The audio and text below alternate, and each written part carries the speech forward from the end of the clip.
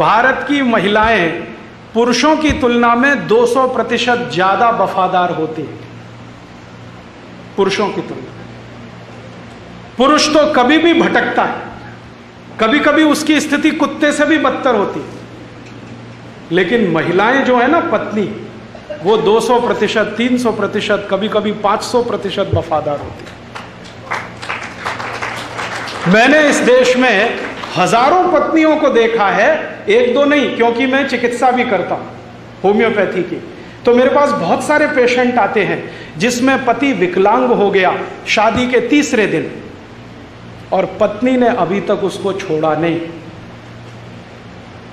ऐसे मेरे पास एक दो नहीं, हज़ारों पेशेंट की लिस्ट है।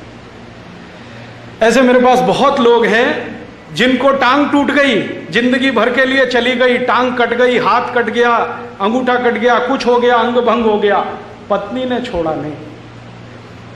और ऐसे मेरे पास बहुत पेशेंट हैं, उनके नाम तो नहीं बसा सकता कि पुरुषों में पूरी नपुंसकता है, बच्चा पैदा करने में असमर्थ हैं, फिर भी उनकी पत्नी उनको छोड़ती नहीं।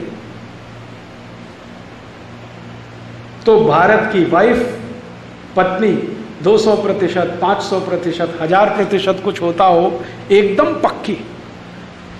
आसानी से नहीं छोड़ते। और इतना ही नहीं है, वो तो कहती है, जी, सात जन्म का साथ है अब तो। ऐसे कैसे छूट जाएगा?